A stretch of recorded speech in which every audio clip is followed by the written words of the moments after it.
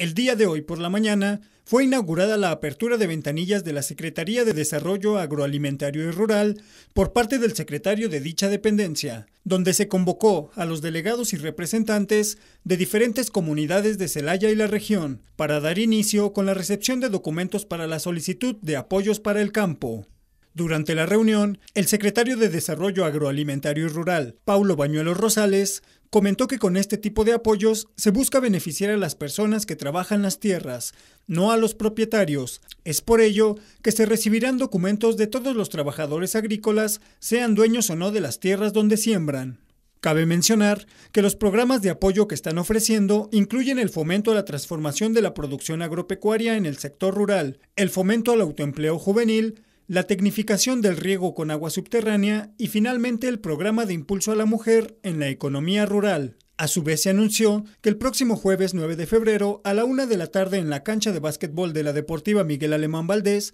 se estarán presentando las características y pormenores de cada uno de los programas, para que la gente interesada en recibir el apoyo conozca las opciones que el SDAIR tiene para el campo.